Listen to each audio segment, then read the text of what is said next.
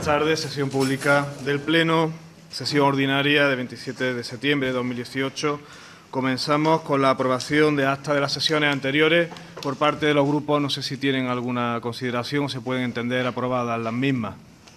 Únicamente se le ha mandado a Secretaría esta tarde en la sesión de- del mes de julio, únicamente al- a la finalización del pues, Pleno.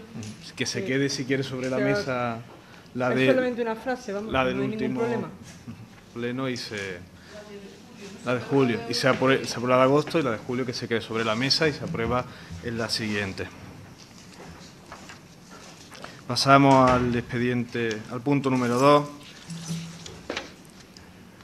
Propuesta para cambiar la designación, la modificación de representante del Ayuntamiento de Priego en la mancomunidad del municipio de la Subbética, que es eh, cambiar a José González Ropero, bueno, a David López García por José González Ropero, ya que iban a estar un año cada, cada uno de, de los dos.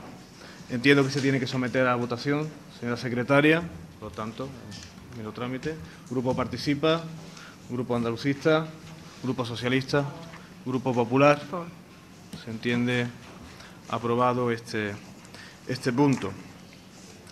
Pasamos al punto número 3, expediente 6.228-2014, re- so- es la que se solicita la revisión de algunos expedientes. Le paso la palabra al presidente del área de urbanismo.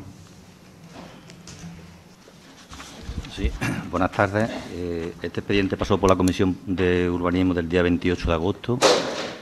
El, eh, acatar la sentencia del Tribunal Superior de Justicia de Andalucía en cuanto a la licencia que se le concedió al Colegio de las Monjas, como conocemos, eh, se nos pide que hagamos una, una revisión de la licencia y de la utilización. La comisión se pronunció en el sentido de que eh, tanto el Partido Socialista como el Partido Andalucista votaron a favor y se reservaron el voto a pleno el Partido Popular. Tiene que someter entonces a... Sí, claro, el Partido Popular no se pronunció y debe de pronunciarse en este sentido. Vale. Los grupos municipales restantes mantienen el voto y, por lo tanto, el Grupo Popular Sí, en el mismo sentido. Es que la otra vez nos Abstención. dejamos porque no había una propuesta Abstención. hecha, así que la propuesta es la misma, como es natural, acatar la sentencia y en el mismo sentido de voto. Estupendo. Ah, bueno, David no estuvo en, en comisión a favor.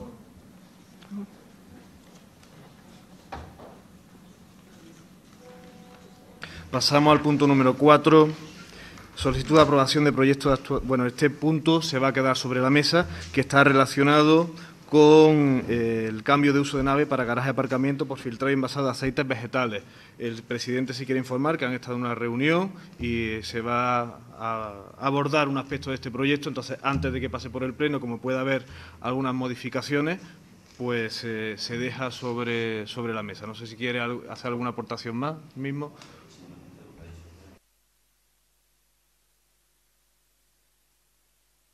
Al punto número 5, expediente 10.937, barra 2018, cuen- cuenta general de 2017 del excelentísimo Ayuntamiento de Priego de Córdoba y su organismo autónomo. Le cedo la palabra a la presidenta del área de Hacienda.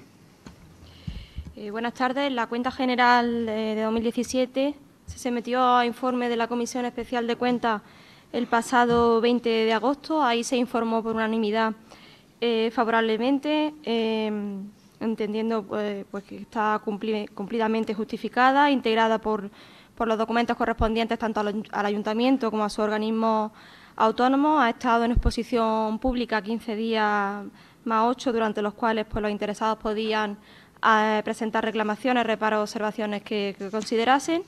Y, y, bueno, hoy viene a pleno para su aprobación eh, y proceder posteriormente, antes del 15 de octubre, que es el plazo que marca la ley, a su remisión al Tribunal de Cuentas y al órgano autonómico encargado de la fiscalización de, los- de las cuentas de los, de los entes públicos. Eh, bueno, imagino que, que en, eh, Comisión Especial de Cuentas ya se ya se votó por unanimidad, pues entiendo que Se entiende que los grupos eh, mantienen su voto, está aprobada por, por unanimidad en la cuenta general del presupuesto de ejercicio 2017 del Ayuntamiento, su organismo autónomo, pues queda ese trámite realizado. Pasamos al expediente número 6, al punto número 6, expediente 16.022-2018, número 21 de modificaciones presupuestarias, créditos extraordinarios, suplementos de créditos financiados con remanente de tesorería. Le paso la palabra a la presidenta del área de Hacienda. Eh, mediante, mediante, este expediente se trata de, de dar aplicación al remanente de tesorería que resultó de la liquidación del presupuesto del ejercicio anterior al primer destino o la primera finalidad que, permite la normativa, la disposición adicional sexta de la Ley Orgánica 2012 de Estabilidad Presupuestaria, eh, que es bueno,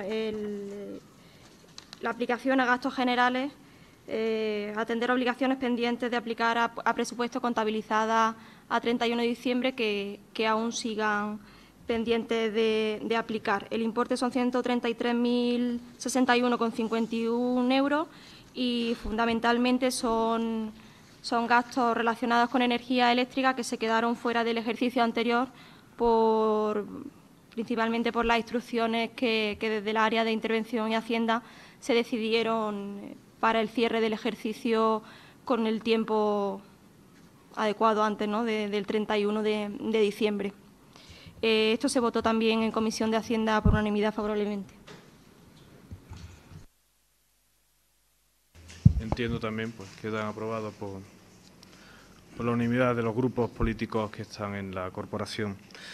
Pasamos al punto número 7, expediente 16.191-2018 Programa de incentivos para el apoyo al emprendimiento y la, consolidación de empresas en Priego de Córdoba. Le cedo la palabra a Inmaculada Román, delegada del área de desarrollo, para que pueda informar de esta convocatoria.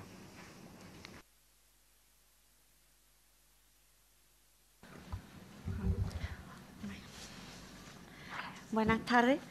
Eh, como ya se dio en la, Comisión de, Hacienda, se trae el programa de incentivos para el apoyo al emprendimiento y la consolidación de empresas en periodo de Córdoba. Eh, pretendemos que bajo un mismo paraguas se engloben todas las líneas de actuación que desde desarrollo queremos llevar a cabo para crear empleo y riqueza en nuestro municipio y se ha intentado, bueno, pues en cuanto a la forma, pues que sean más ágiles, más fácil de, tramitar tanto para las empresas y emprendedores que las soliciten como para el área de desarrollo el área de intervención, agilizar mucho más los trámites. También que puedan estar abiertas a lo largo del año y, sobre todo también para facilitar el aporte de, documentación. En cuanto al fondo, pues se han tenido muy en cuenta los sectores estratégicos de nuestro municipio, como son el turismo, la industria agroalimentaria, el comercio, la confección. Los colectivos más vulnerables también se han, tenido en cuenta, las personas desempleadas de larga duración, las mujeres, eh, los jóvenes menores de, 30 años y se pretende bueno, pues incentivar aquellas herramientas que pueden hacer a nuestras empresas más competitivas, como son las nuevas tecnologías, la internacionalización y la innovación. Se han ampliado también conceptos subvencionables, que ahora los voy a comentar en cada una de las líneas. Se han eliminado también los topes que había en las otras bases en cuanto a cada concepto, porque pensamos que son los emprendedores y las empresas las que tienen que decidir eh, qué gasto es el que más le hace falta que le sea, que le sea apoyado. Y como he dicho antes, también se han modificado los plazos para hacerlas más accesibles a todos aquellos emprendedores y empresas que no se nos quede nadie fuera por cuestiones de, por cuestiones de, fecha. El programa contempla seis líneas, estas son las bases, luego cada línea tendrá su, convocatoria. La línea 1 de apoyo al emprendimiento y, al autoempleo, eh, la línea 2 de apoyo a la consolidación, crecimiento y mejora de la competitividad de las empresas, otra línea de apoyo a la ubicación de empresas en suelo industrial, somos conscientes de que eh, no solo a nivel local, sino a nivel andaluz y a nivel provincial necesitamos industria y tenemos un suelo industrial que fomenta precisamente la creación de este tipo de, empresas. Ayuda a la contratación, una contratación eh, de calidad que cree empleo estable, apoya la promoción y comercialización empresarial. Como he dicho antes, una de las de las herramientas para que nuestras empresas sean competitivas y se puedan eh, perpetuar en el tiempo. No se trata solo de que se creen muchas empresas, sino de que éstas sean capaces de mantenerse en el tiempo. Eh, es la búsqueda de nuevos mercados, la internacionalización eh, y a mercados nacionales, autonómicos, salir de nuestra, de nuestra zona, ¿no? ir donde están nuestros clientes potenciales y eh, un sector muy importante para la localidad como es el pequeño y mediano comercio, que necesitamos un comercio moderno y, actualizado, adecuado a los nuevos, a los nuevos tiempos, a las nuevas formas de, compra de los clientes. En cuanto a la línea a la línea 1, pues la pueden solicitar cualquier persona que vaya a crear su propia empresa, bien como persona física, bien como persona jurídica, dando también bastante importancia a lo que es la economía social, tanto la creación de cooperativas como empresas mm, eh, laborales. Aquí eh, se ha intentado en los gastos incluir también lo que es la tesorería, lo que es el circulante, porque si algo le cuesta al emprendedor es tener esa liquidez al principio para poder afrontar esos gastos, esos gastos iniciales, que puede ser para la compra de los primeros acopios de, de materiales, ¿no?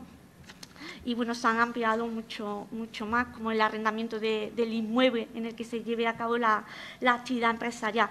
También va a haber dos plazos para que puedan presentar su ayuda, para lo que decía al principio, que no se quede nadie fuera porque su empresa la ha creado antes o después y no le coincide con la fecha de presentación de, de las solicitudes. Eh, eso nos va a llevar también que no sea posible incrementar la cuantía de la, ayuda. Eh, en cuanto a la línea 2, pues como he dicho antes, lo que se pretende es esas empresas que ya llevan un par de años, que ya se ve si la empresa bueno, pues, eh, tiene posibilidades de éxito, que realmente se consolide, que se cree, que puedan crear empleos, que puedan modernizarse y que puedan continuar en, el, en el tiempo. La línea Eh, la línea de apoyo a empresas en suelo industrial, como ya he comentado también, para lo que se pretende es precisamente incentivar a las empresas a que se instalen en nuestro, en nuestro suelo industrial. Eh, ahí bueno, pues se subvencionan todos los costes que puedan tener de adquisición o bien alquiler de, las naves, la construcción, la ampliación, mejora, los gastos de formalización para el tema de escritura y todo eso que suponen un alto coste para, para las empresas la línea de ayudas a la contratación, una línea nueva, que lo que se pretende es fomentar que se cree empleo por, por, nuestra, por nuestras empresas, tanto creación nueva como transformación de empleo temporal en, indefinido.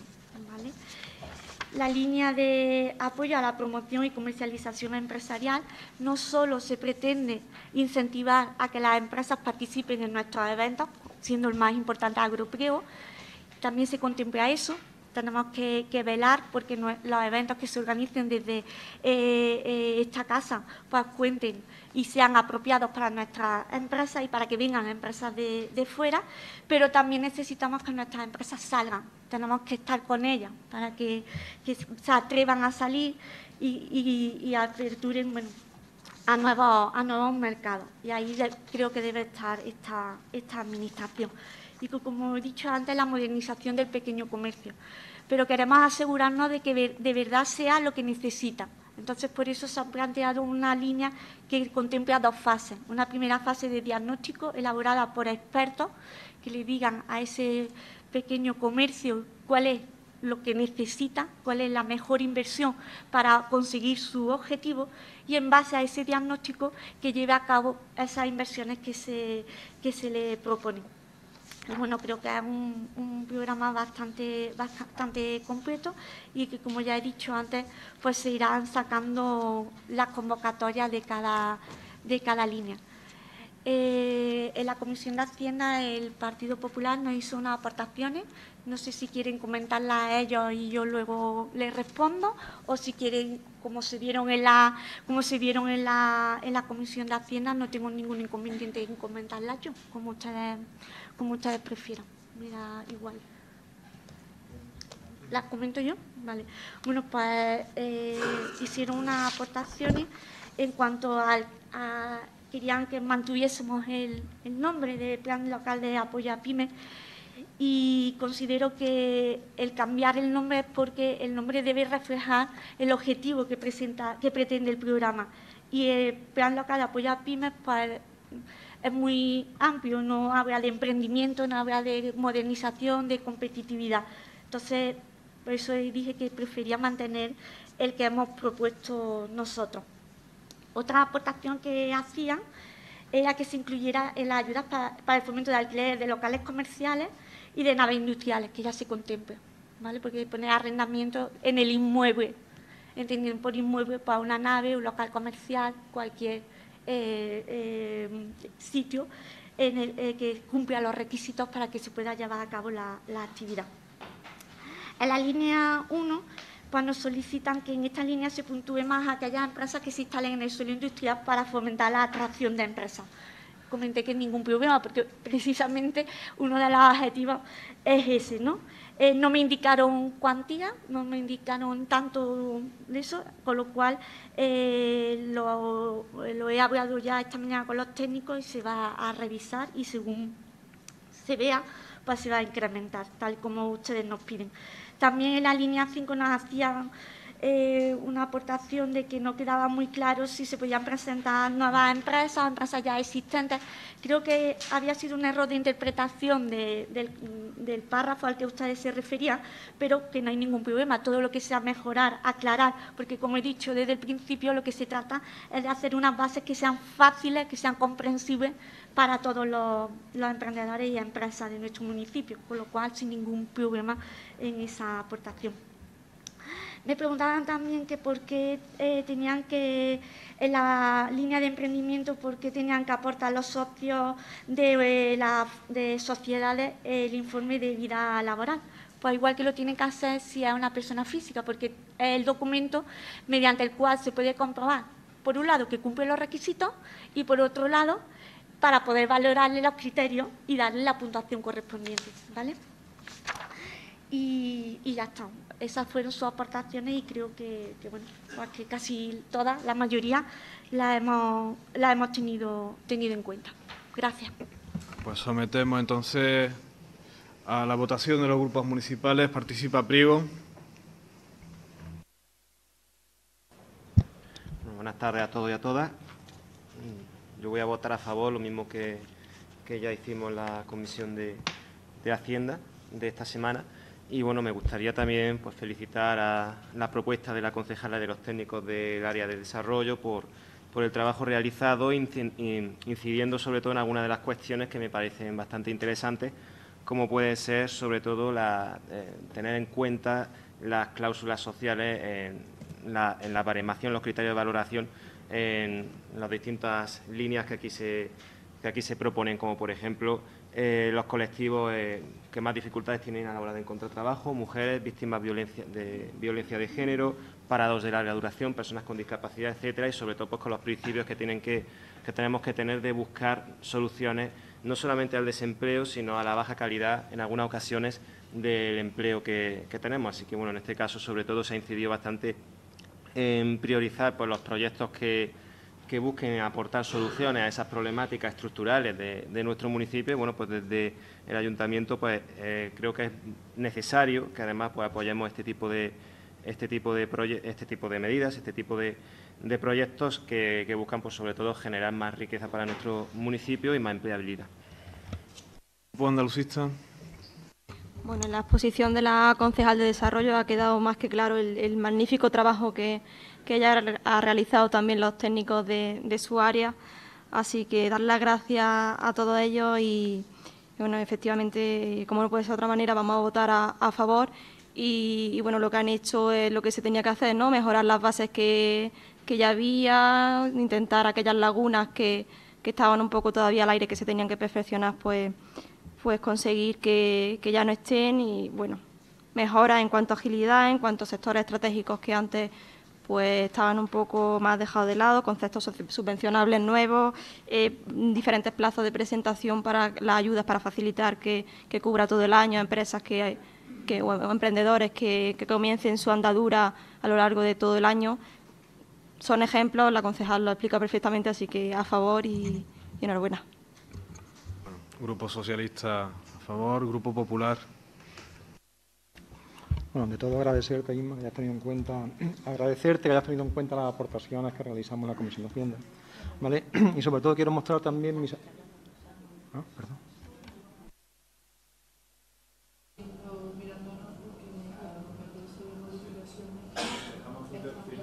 En primer lugar, la intervención con la disculpa. Con la disculpa. Como estoy diciendo, te agradecerte las aportaciones que hayas escuchado y hayas aceptado una de las aportaciones que hemos que pusimos sobre la mesa en la Comisión de Hacienda. Después también quisiera, ante todo, pues mostrar mi satisfacción porque salgan adelante estas bases que hoy se traen a este pleno. Mi satisfacción porque en realidad fue en el año 2016 cuando en una mesa de empleo convocada, si no mal recuerdo, en marzo, donde estábamos reunidos representantes de los grupos políticos, donde estábamos reunidos también representantes de las asociaciones de empresarios, de la Federación de Empresarios Antigua, la Asociación de Centro Comercial Abierto, había técnicos municipales de distintas áreas involucradas en el desarrollo y en el empleo, estaban representantes del CADE, del SAE, del Grupo de Desarrollo, de la Mancomunidad y de la Denominación de Origen. Entonces, este, yo, siendo en este caso concejal de Desarrollo, planteé, se me ocurrió la idea de meter bajo un mismo paraguas las distintas líneas de ayuda que, existían por entonces para emprendedores, para emprendedores y empresarios. También introduje, además de las dos que había, introduje algunas nuevas. En aquella mesa de empleo estaba Alba, estaba Tony, estaba David también. Y creo que existe el acta. Eh, dialogando, hablando entre todos, llegamos a ese acuerdo, como comentaba antes, por un consenso. ¿Qué ocurrió? Pues ocurrió que no se aprobó el presupuesto, se prorrogó el presupuesto, entonces, al no haber fondos suficientes para sacar estas bases bajo el paraguas, eh, continuamos como estábamos. En febrero de 2017, sigo siendo de memoria, se aprobó el presupuesto para ese año e inmediatamente del área de desarrollo pues, se pusieron a trabajar, o se puso a trabajar en este caso, porque estábamos solitos, se puso a trabajar en este caso el técnico de desarrollo para elaborar el primer borrador que se hizo con fecha 28 de marzo, siendo también yo concejal. De hecho, algunos de los planteamientos de, este, de estas bases se copian directamente de ese borrador. ¿Qué pasó después? La moción de censura y, lógicamente, la paralización que hubo en la tramitación de las bases. Hoy, por fin, dos años y medio después de aquella idea que tuve, viene a esta convocatoria muy bien la verdad es que bastante trabajada, bastante interesante, pero me gustaría hacer una serie de observaciones, algunas de las cuales ya ha comentado Isma.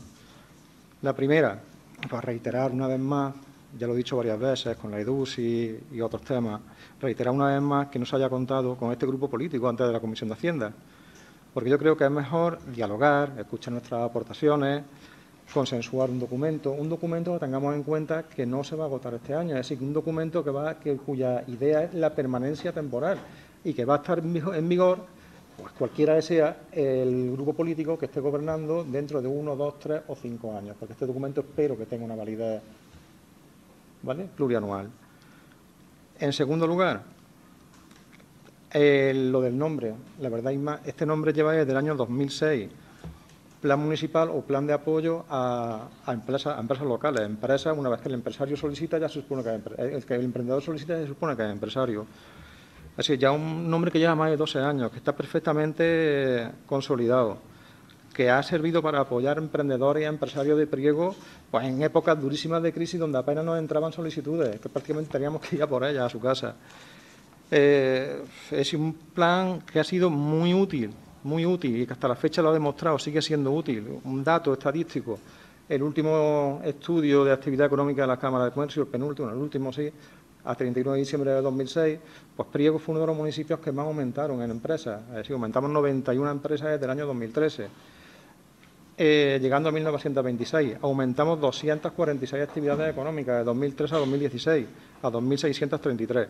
¿Qué quiero decir con esto? Pues yo creo que están haciendo bien las cosas, que es un plan útil, que no necesita cambiarse el nombre. Yo entiendo que os guste también a veces poner vuestra marca, vuestra huella, pero si una cosa ya funcionando bien 12 años, han pasado varias corporaciones por él. Eh, no, no queda mal, me queda dejarlo. Además teníamos ya la sigla PLA y la gente lo conocía. Insisto, es un plan que ya se consolidó y no entiendo el cambio de nombre. Bueno, lo entiendo, pero no, lo comprendo. En tercer lugar, en el borrador que yo hice, que yo planteé en el año 2016, que se hizo en el año 2017, efectivamente se recogía una línea específica con la única idea, vamos dirigida a apoyar el comercio de cercanía, la proximidad, al comercio de siempre. Era una línea de ayuda para el fomento del alquiler de locales comerciales en el centro histórico de Priego. Así, la intención, la finalidad era detener esa despoblación comercial paulatina que empezó a partir del año 2007, donde se cerraban cantidad de establecimientos ahí y donde continúan aún cerrándose y muchos, muchos todavía cerrados.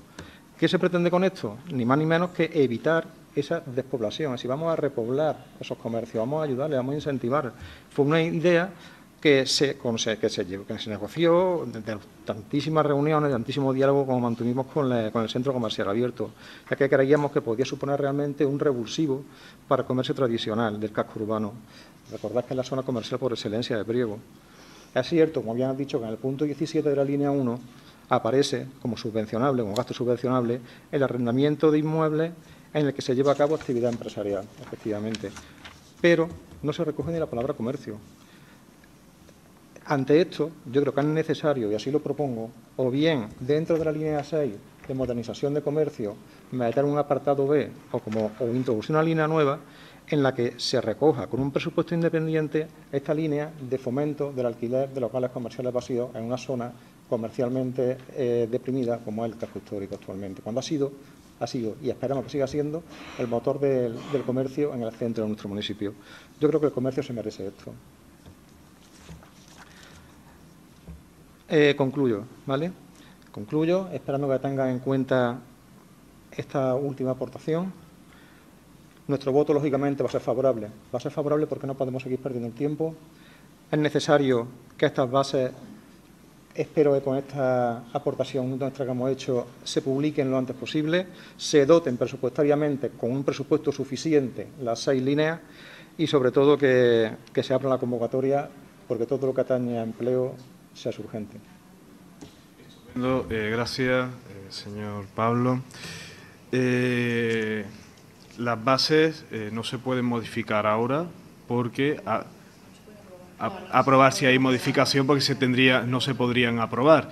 Entiendo también y si les pedimos que cuando tengan esas aportaciones que no espere usted a llegar al momento del pleno para hacerlas porque se tienen que preparar informes de intervención desde secretaría para modificar las bases y entiendo que ha tenido, si tenían esa idea, pues poder hacerlo tanto en la comisión como en los días, en el día posterior, para que hubiese dado margen para que la secretaria y tanto el interventor, que por eso estaban antes cuando la hemos interrumpido porque estaban, eh, entre ellos estaban los dos hablando sobre ese, sobre ese asunto.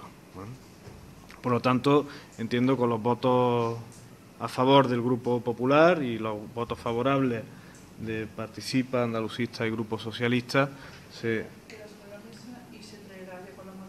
no, se, da no no no se da se da por aprobada las bases para que en el momento tal y como están las bases. Ah, vale, se introduce la modificación dentro de. Sí, pero la, cuantitativa. Eh, no varía no puede variar, la de valoración cuantitativa no porque no han determinado ese valor. Claro, la cuantitativa no valía. ¿Mm?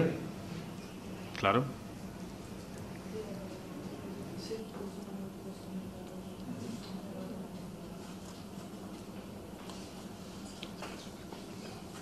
Pasamos al punto número 8, expediente 16.241-2018 Reconocimiento extrajudicial de créditos, quinta relación del presupuesto del Ayuntamiento. Le paso la palabra a la concejal del área de Hacienda. Presidenta. Bien, se trae reconocimiento extrajudicial, tres relaciones de gastos efectuados en el ejercicio 2017 y, algún gasto también de ejercicios anteriores. Eh, la primera de las relaciones es la que hemos mencionado antes, a financiar con el remanente de tesorería. Eh, otra relación con una, tan solo una factura de 363 euros del Patronato del Lozano Sidro, de una factura que había por ahí pendiente de, un concierto prestado en julio de 2016 y una relación del, propio ayuntamiento de 9.890,22 euros, eh, la mayoría de, los conceptos de los gastos por importes pequeños de guardería temporera, suministro eléctrico, eh, para financiar eh, dentro de los créditos del propio vigente presupuesto y dos gastos de un importe mayor a los cuales se le buscó crédito la modificación presupuestaria en, el, mes, pasado. Pues eh, se trae reconocimiento extrajudicial todos estos gastos para poder pagar a los proveedores que en su momento prestaron el servicio suministraron e, el, bien. en comisión se dictaminó, si no me equivoco, favorablemente por unanimidad también. Se mantiene el voto de unanimidad de los grupos municipales, se da por convalidado y aprobado por este Pleno. Pasamos al punto número 9, expediente 16.276-2018, expediente 23-2018 de modificaciones presupuestarias. Le paso la palabra de nuevo a la presidenta del área de Hacienda. En esta modificación presupuestaria principalmente se, pretende acometer dos, dos trabajos, tres trabajos, mejor dicho, el, primero de ellos es la limpieza de, la muralla de la Darbe, aunque ya se realizaron trabajos en el ejercicio anterior, pues es necesario volver a dar un, repaso antes de que empiecen la, lluvia y siga creciendo la maleza y las malas hierbas que hay en la muralla. Se han pedido tres presupuestos, el menor de ellos es de 10.300 euros. Se hace una modificación presupuestaria por ese importe eh, 2.000 euros que son necesarios para abrir el centro de iniciativa empresarial de aquí a final de, año, no puede quedar, eh, quedarse cerrado. Y, 18.050 euros se proponen también eh, modificar para dar crédito a una misión comercial para empresas del sector textil de la, de la confección. Eh, esta propuesta nace del propio ciclo de conferencias del sector textil celebrado recientemente consiste en que, dos empresas puedan acudir eh, fuera eh, a una feria internacional del sector de, bastante prestigio y envergadura en, Seúl, en Corea. Y bueno, aunque son dos empresas las que pueden ir, pues es una oportunidad de que lleven al extranjero ¿no? el nombre del, sector textil eh, de Priego, pues por el mundo entero, en este caso a, al continente de Asia, ¿no? Una, una manera de, de, promover el sector, de conseguir nuevos, nuevos mercados, pues mediante la externalización, perdón, que al final lo que lo que se intenta promover también con esta con esta misión, ¿no? ¿no? Que, no que no nos quedemos en, en lo que es el negocio de, del pueblo. Eh, esa es la, la propuesta que, que, se lleva, las bajas para financiar estos estos tres trabajos eh, proceden del, propio área de desarrollo para el caso de la misión comercial del textil, de ahorros económicos de algunos proyectos que ya se han llevado a cabo o de otros, otros proyectos, otros planes que se van a, meter ya en lo que es en el ejercicio 2019 y no va a ser necesario el crédito este año. Y, bueno, y el resto para la muralla de la Darbe y los trabajos realizados para la apertura y el cierre de, del CIE, pues también de, créditos que no van a ser necesarios, como el vestuario de la policía local, que ya está que ya está adquirido, o, el mantenimiento de, de algunas zonas de, de algunas zonas periurbanas en tema de, de contraincendios o la escritura de, de la vivienda de Zamorano y la calle Arenal, que no va a poder ser eh, realizarse en este ejercicio. Eh, en este caso, el Partido Popular se abstuvo en la comisión. Por parte del Grupo Popular. bueno, pues en el mismo sentido vamos a seguir absteniéndonos.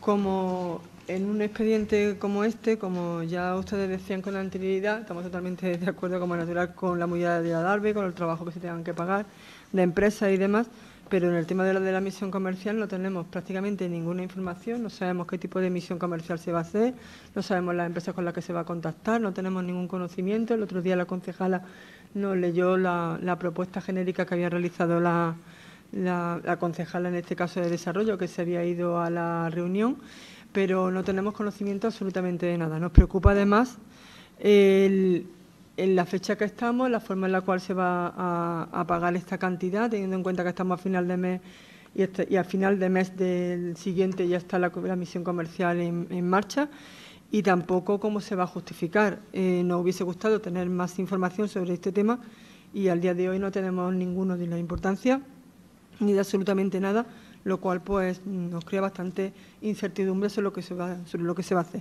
Y sobre todo teniendo en cuenta que se quitan las partidas del plan de comercio local, el cual era pues un compromiso de hace dos años, que este año no se ha ejecutado durante todo el año este plan de comercio local, que creemos que era fundamental y que además se ha dotado incluso con más cantidad de dinero, lo cual pues en su momento no se pudo hacer y ahora, pues sin embargo, sí se consiguen estos 18.000 euros y de la misma manera tampoco estamos de acuerdo en la rebaja del plan de empresa, que siempre en muchos casos, bueno, pues se quedan algunas cantidades, estamos todavía pronto, todavía pronto, estamos antes del último trimestre y pueden aparecer más empresas, así que en este sentido nos vamos a estar. Muchísimas gracias, los demás grupos mantienen su voto favorable pues se entiende aprobada esta modificación presupuestaria. No tengan duda de que tendrán información completa de, una, de esa misión comercial que es apoyo al comercio y a la industria local y abrir la industria local al mundo, que creo que es tan interesante y tan importante para las empresas de nuestro pueblo, mirando siempre al futuro que tan importante y, y, tan incierto, desgraciadamente, ha sido durante mucho tiempo en nuestro pueblo. Así que espero y deseo que, y además en los próximos días tendrá información completa de una de las mayores actuaciones más ambiciosas que desde el Ayuntamiento se ha puesto en marcha en los últimos años para apoyar a la industria del textil local. Pasamos al punto número 10, bueno, el, punto de mociones. Creo que se iban a suscribir, no sabe el señor, el señor portavoz, se iba a suscribir por parte de todos los grupos municipales el apoyo a la a la moción que presentaba. Por lo tanto, no sé si...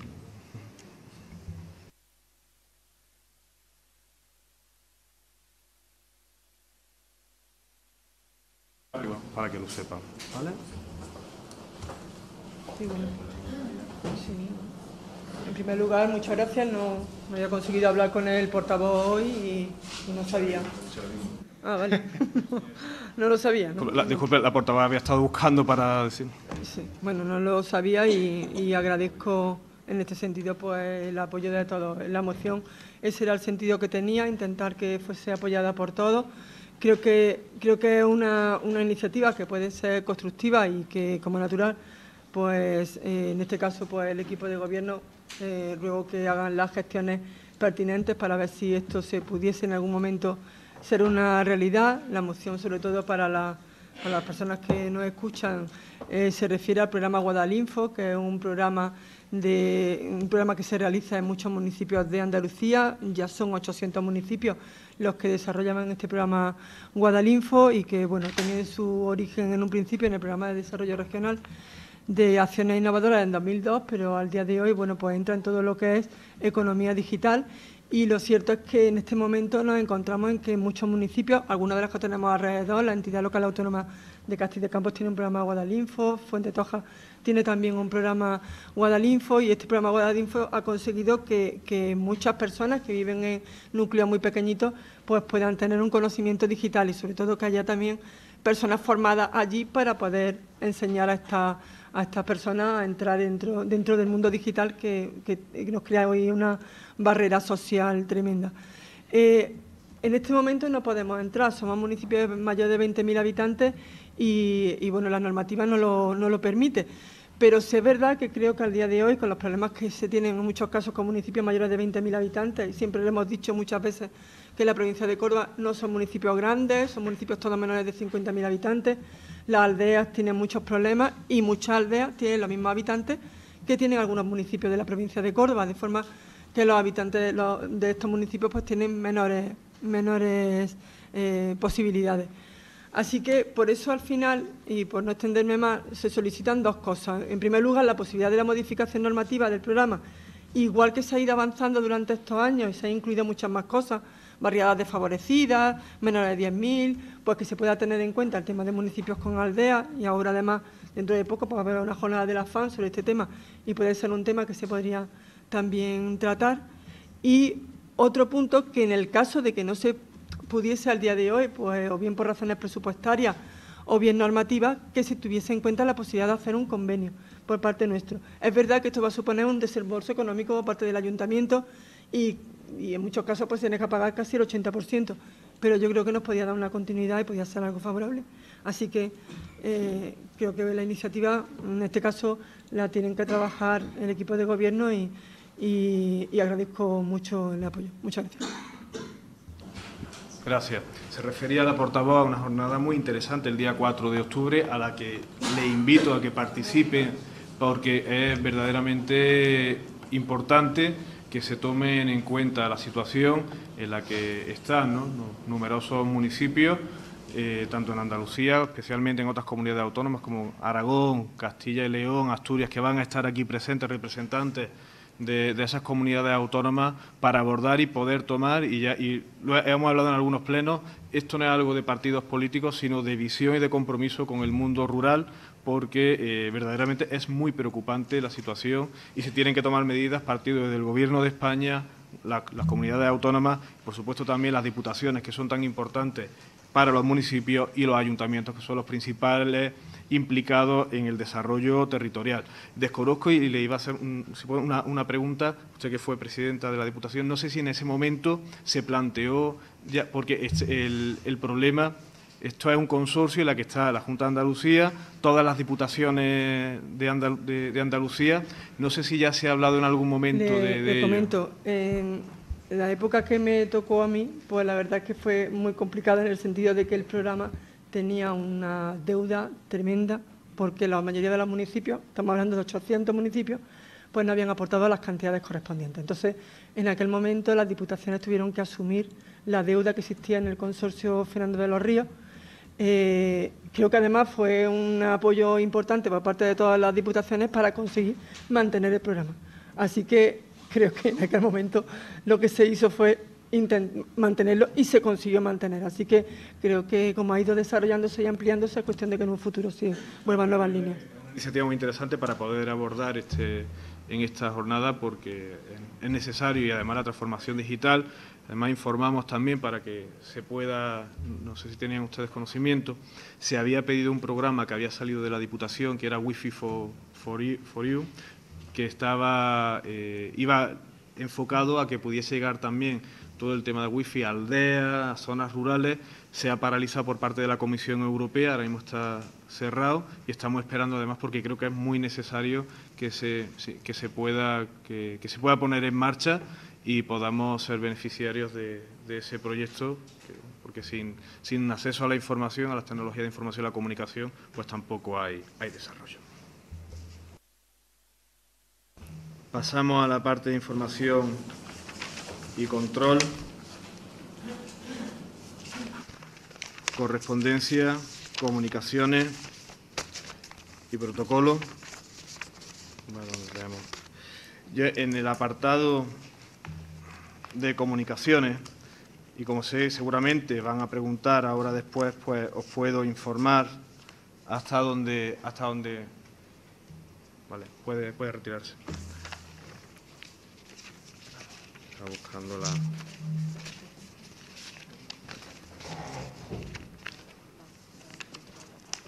El apartado de felicitaciones no estaba por aquí. Lo he dejado en la mesa seguramente. Les quería comentar que creo que, que es importante. Como bien saben, estuvo la presidenta de la Junta de Andalucía visitando nuestra localidad hizo un anuncio que creo que es muy importante para nuestro municipio porque se estaba demandando, era una necesidad, una reivindicación, para que sepan ustedes hasta el punto en el momento en el que está este trámite, se va a realizar, como ya anunció la presidenta de la Junta, eh, una primera fase, un primer tramo de esa variante, con un trazado nuevo, eh, que además se va a licitar en las próximas semanas el lunes estuvimos la delegada de, Hacienda y yo reunidos con el director general de, Infraestructura, nos citaron para poder eh, hablar un poco de cómo iba ese, proyecto y pues estamos esperando que pueda salir en, boletín en las próximas semanas esa licitación del proyecto que creo que es tan, tan, importante, tan necesario y que todos los grupos pues se habían implicado para, para que así fuera. Y estamos pues, esperando a que, a que pueda salir, que puedan venir además para poder explicar y detallar, para que no haya ningún tipo de dudas es decir, eh, porque llamaba la atención, ¿no? Eh, ese repintado que se está haciendo por la seguridad vial no es el arreglo de la carretera, sino que es un trazado nuevo el que se va a acometer y, como digo, pues va a ser bastante beneficioso y va a mejorar la comunicación de Priego, eliminando pues una parte que es la más complicada del tramo de, curva, que además eh, es peligrosa, ¿vale? Para que lo puedan, lo sepan, lo sepan ustedes. y en el apartado de felicitaciones quería comenzar felicitando a José Carlos Castro, que ha sido segundo clasificado en el Campeonato de España de Pesca Black Bass, que se ha celebrado recientemente, también a un funcionario del Cuerpo Nacional de Policía de la Comisaría de Lucena Cabra, que recientemente, por motivos de seguridad no damos el, nombre, se le felicitará eh, de este pleno si costará, que estando fuera de servicio en Priego, pues actuó y pudo pues ayudar a que un robo que se estaba cometiendo pudiesen detener a la, persona que estaba perpetrando ese robo, así que dar las gracias en nombre de este ayuntamiento a ese funcionario del Cuerpo Nacional de, de Policía. Felicitamos también al Club de Arqueros Varanegra por los primeros puestos en la tabla del Campeonato de Andalucía de recorridos de casa simulada con arco y clasificarse para el Campeonato Nacional. A nuestro deportista Rafa López como campeón de la Copa de Andalucía de Jaén Paraíso Interior, a Rafael Rodríguez Pedraja por proclamarse campeón de la general en la categoría junior en el séptimo trial corto nocturno Castillo de Carcabuey, a José Adamuz, primero también en la categoría juvenil, y a Marta Vergillo Moreno, segunda de su categoría veterana. A Rafael Bermúdez por proclamarse campeón en la general del séptimo trail largo nocturno Castillo de Carcabuey, Virginia Aguilera, segunda general a la firma de nuestra denominación de origen protegida por sus premios obtenidos en el concurso internacional Orciolo de Oro 2018. Son Almazara de la Subbética, Muela Olive, Arodén y Olivarera La Purísima.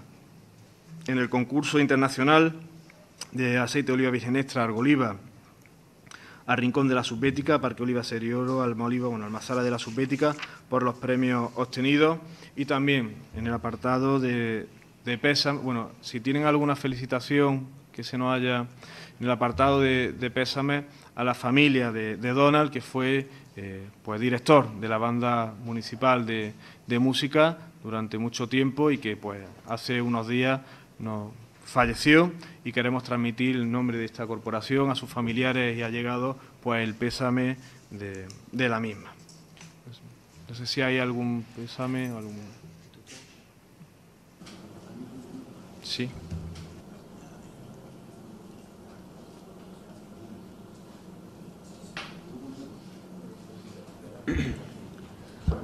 Eh, a la compañera de la Corporación Municipal por el fallecimiento de su cuñada. Estupendo.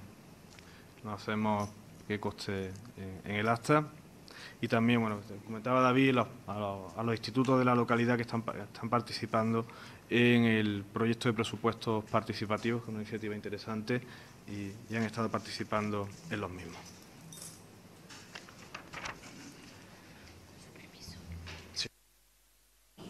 Pasamos al control de decretos y resoluciones de alcaldía. Desde la 7.663-2018 de 16 de agosto hasta la 8.811-2018 de 20 de septiembre de 2018 como ya saben, han estado, y se vieron en, comisión. Y pasamos al apartado de ruegos y, preguntas. Que no haya, mm, con el tema de los tiempos, son las 20.53, vamos a intentar adaptarnos todos, porque esto mm, está muy bien, pero funciona, funciona nada más que, nada más que regular. Entonces, más o menos que seamos flexibles, pero que haya... Bueno. empiezo yo. ese momento no ha comunicado la información relativa a la, a la variante de la angostura y era sobre esto lo que queríamos preguntar. Eh, y sí me gustaría, porque algunas cuestiones se nos han quedado en el tintero y, la verdad es que nos sigue preocupando bastante lo que se vaya a hacer o cuál es la actuación que, se tiene previsto ejecutar. Eh, como bien sabe, eh, durante este año y medio anterior, en el Parlamento de Andalucía se ha preguntado dos veces al consejero de Fomento por parte de la, de la parlamentaria María de la O. Redondo. Las dos veces eh, ha contestado como natural el, consejero eh, con diferentes cuestiones. En el mes de julio respondió en referencia a la variante eh, que la ejecución era una, que era de 5,6 kilómetros. Además, ese proyecto fue del año 2005-2006, un proyecto que además fue consensuado por el ayuntamiento y que además se presentaron alegaciones por parte, en este caso, de Ecologistas en Acción y, se, le, bueno, se rechazaron aquellas, aquellas alegaciones y fue ese proyecto que era el que iba por la zona de Leones, para que todo el mundo nos entendamos eh, por dónde iba. Eh, cuando se responde por parte del consejero en el mes de, julio, se hace una referencia a que, a que están pensando en fasear el proyecto, pero que ese proyecto que se estaba diciendo de los 5,6 kilómetros no se podía fasear. Cuando en el mes de marzo vuelve otra vez a, preguntar nuestra compañera, el consejero, bueno, pues bueno, hace referencia al tema de los 10 millones de euros que cuesta, que, es una cantidad muy alta, eh, que tiene muchas prioridades en la provincia de Córdoba, y dice expresamente, lo he copiado porque no, no quiero ponerle vídeo a estas cosas, que si vamos a ejecutar la variante se tiene que hacer una ejecución única y si vamos a condicionamiento sí podría ser un acondicionamiento por tramos con fondos europeos.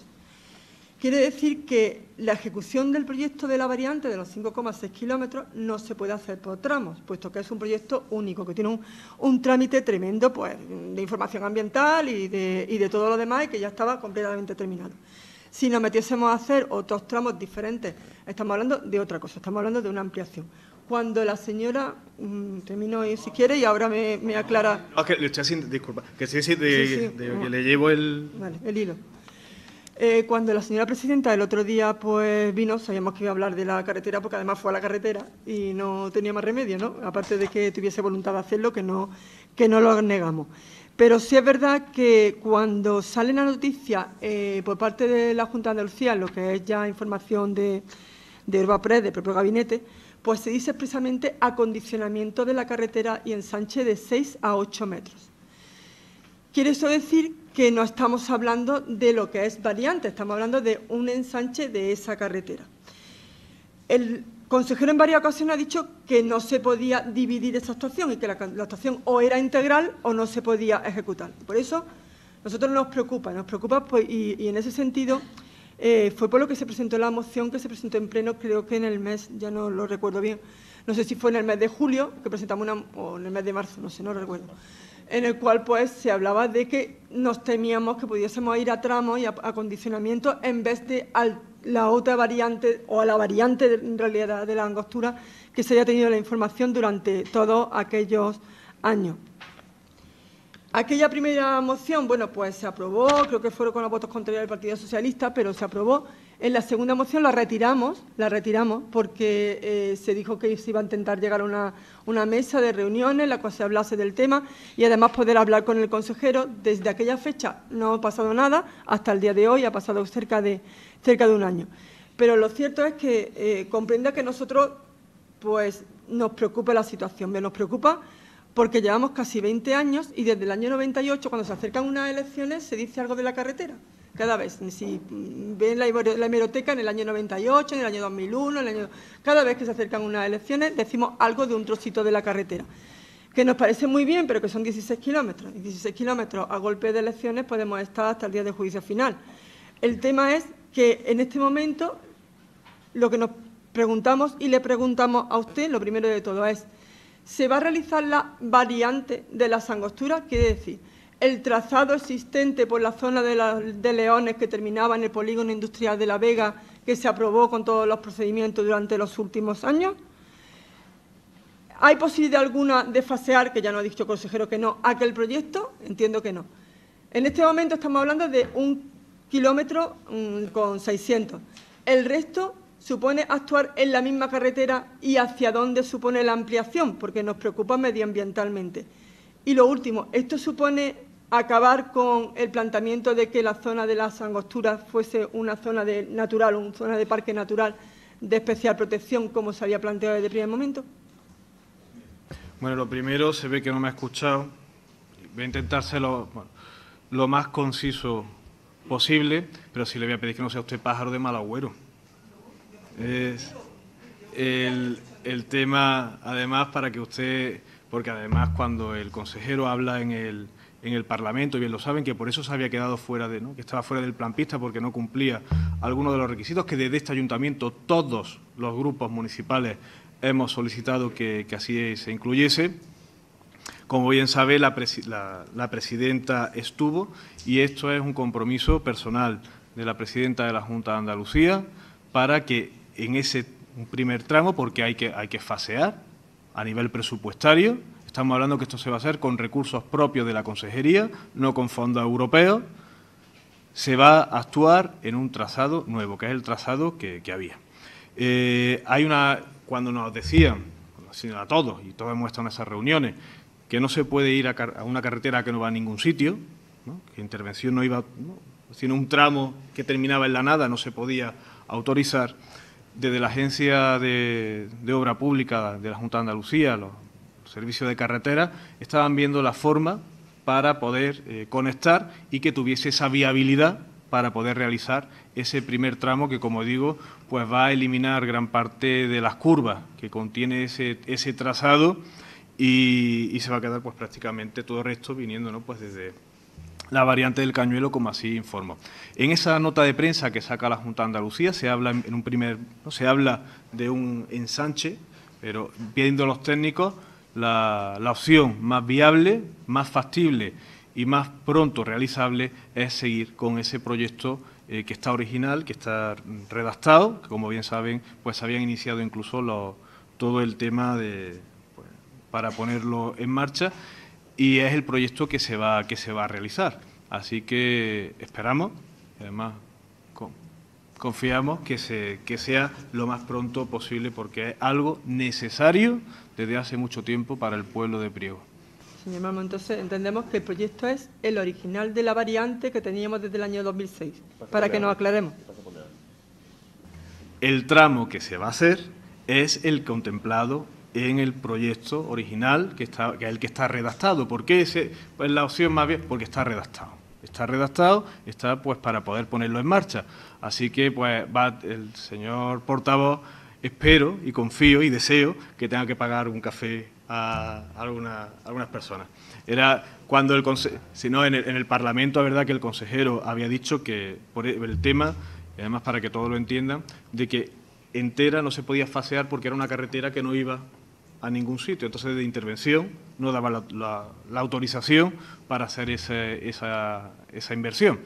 Pero se ha buscado y se está buscando, y además creo que el otro día, con bastante buena predisposición por parte de la Junta, una conexión, por lo tanto, quedaría eh, toda la carretera enlazada y se puede llevar a cabo y además el, el, proyecto más factible, más rápido, lo más rápido posible, siempre, siempre cumpliendo con los procedimientos legales establecidos. Una última pregunta. ¿La conexión es con el polígono industrial de La Vega, como se estableció en un principio y se solicitó? No, pero es que es antes. Estamos hablando... estoy, hablando... El proyecto en este momento se va a hacer un kilómetro y algo de los 5,6 kilómetros. los 5,6 kilómetros finalizaban en una zona en la cual se solicitó en este pleno en varias ocasiones que finalizase la conexión con el nuevo polígono industrial de La Vega, para poder tener salida el polígono industrial de La Vega. ¿Eso se mantiene en este, se plantea en este proyecto o no se plantea? No estoy hablando de los 1,6 kilómetros. Entiendo que no sé si la Junta de Andalucía va a tener presupuesto o va a convocar elecciones. Creo que a lo mejor mañana pasado tenemos elecciones. Y como es que ya llevamos muchas, señor Marmos, que son muchos años. Y siempre pasa lo mismo en esta época. Estamos en un kilómetro y pico, volvemos otra vez a la misma situación. Entonces entiendo que prefieren ustedes que no se haga nada. No, yo prefiero que continúe que continúe el 1,6 kilómetros y que terminemos ya por fin. Son 16 kilómetros y nos van a quitar la vida a todos. Así que estamos todos deseanditos de que esto de verdad termine algún día. Y yo, y yo también, pero se ve que hay personas que les molesta que esto pues, pueda ser una, realidad. Este, lo que se está trabajando eh, y la información que yo puedo darle eh, verificada, la que nos han transmitido, y creo que mm, con todo lo que nos dijeron en esta reunión, estamos hablando de ese primer tramo para que no haya ningún tipo de, duda que es nuevo trazado, nueva carretera, que como bien saben, eso sí coincide, va de un poquito más de la zona de la depuradora hasta la zona en la que se quedó eh, cuando sube la, resta del cañuelo por arriba, ya que se, que se estrecha la carretera, conectar desde ahí hasta la zona de la depuradora, iría todo ese primer tramo, que ya le digo y vuelvo a insistir, es un compromiso personal de la presidenta que se va a realizar con fondos propios de la consejería.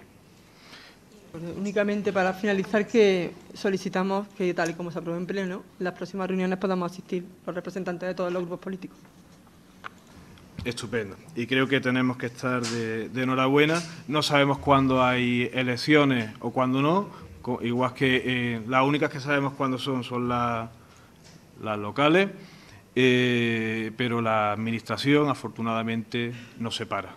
Y creo que es un compromiso que era necesario Así se lo habíamos trasladado y se lo había trasladado a la presidenta y la presidenta ha cumplido con ese compromiso que tenía con Priego, no con Priego, con los prieguenses, porque era algo muy necesario que ya no solo usted, las corporaciones que nos han precedido, pues han insistido y han reclamado de forma periódica, año, legislatura tras legislatura, porque era de justicia que se pueda acometer esa mejora que tan necesaria es para el desarrollo de Priego. Bien. Eh, tengo un ruego y, como es sobre un tema que, siempre que, ha generado polémica y estoy convencido de que la va, a generar, que es sobre los toros, entonces voy a, empezar por el final. Y el final es que nosotros rogamos que el ayuntamiento se ponga al frente, al frente de la reclamación. Son casi 600 personas las afectadas. Creo que, pocas cosas cuando pasa algo en un pueblo de, como Priego hay 600 personas afectadas un importe próximo a los 20.000 euros. Entonces nosotros entendemos que el ayuntamiento, nada más que por el simple hecho de, toda esta gente que está afectada, eh, tiene que ponerse al frente. Pero además tiene que ponerse al frente, entendemos, y como hicimos público, ponerse en contacto con la Dirección General de, Espectáculos, porque poner la oficina del consumidor al servicio de los ciudadanos me parece una broma, porque aquí lleva ya años. O sea, no, tenemos que venir a ponerla, porque todo el mundo lo sabe, que está todo el mundo. De si hemos puesto la oficina del consumidor al servicio del hombre, creo que es poco ocasión, ¿no? Pero además nosotros creemos que, el ayuntamiento se tiene que hacer responsable porque nosotros, se tiene que poner al frente, perdón, porque nosotros entendemos que el ayuntamiento tiene responsabilidad, responsabilidad en este tema. Es cierto, y a lo mejor hemos utilizado términos equivocados de han contratado o organizan, porque realmente el ayuntamiento no contrata ni organiza, y si en algún momento se ha utilizado ese término, pedimos disculpas, pero sí es cierto que es responsable absolutamente desde el momento en que elige a dedo a una empresa, teniendo además registradas por registro de entrada otra serie de ofertas de otras empresas y sin hacer consulta alguna, elige a una.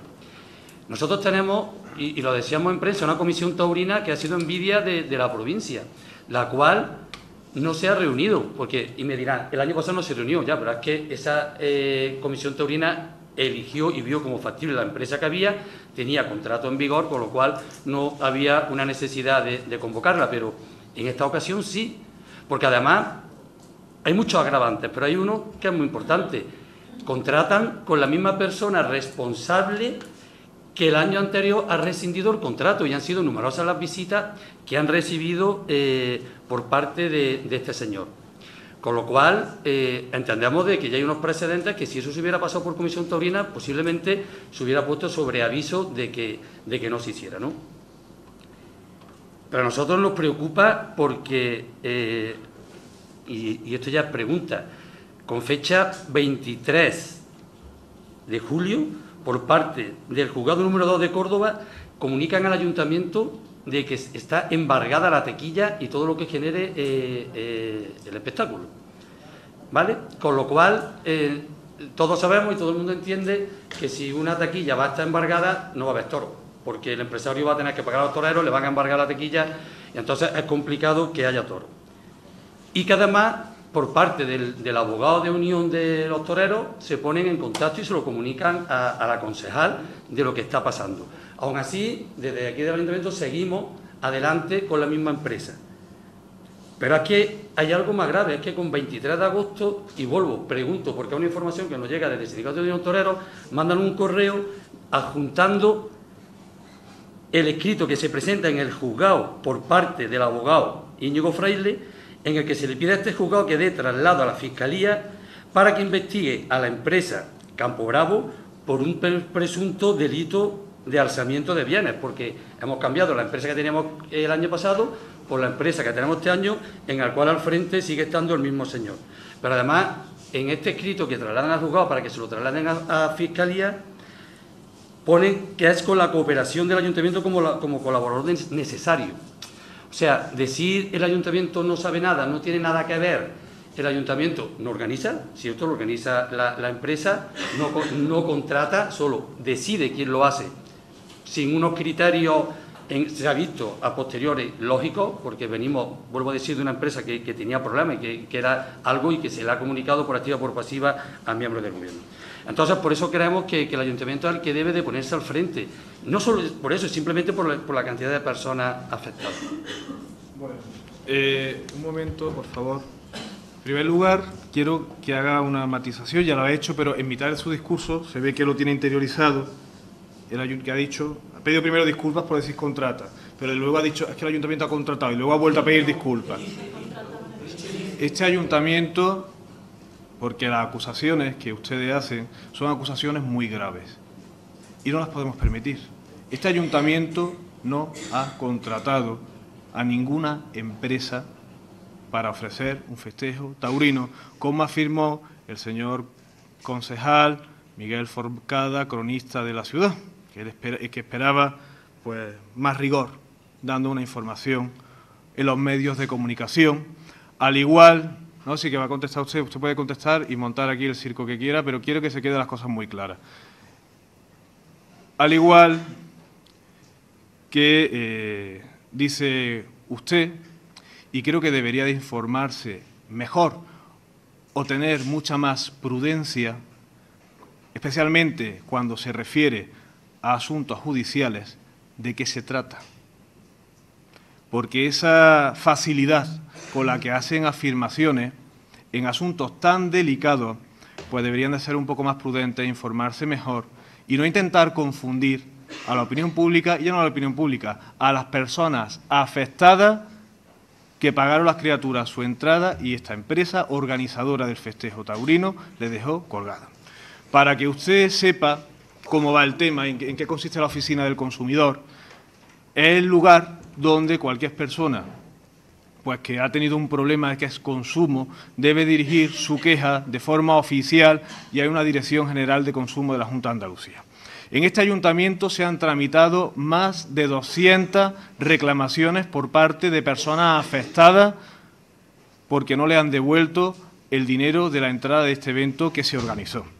Y aparte de eso, este ayuntamiento ha solicitado y ha enviado todas esas reclamaciones, al igual que la Dirección General de Consumo, se han enviado a la Dirección General de, de Servicios de Juego y Espectáculos de la Junta de Andalucía, dependiente de la Consejería de Justicia e Interior de la Junta de Andalucía, para reclamar que el, el aval que pudiese tener esta empresa depositado como seguro sirva para pagarle a las criaturas que no han cobrado la entrada de un espectáculo que se canceló.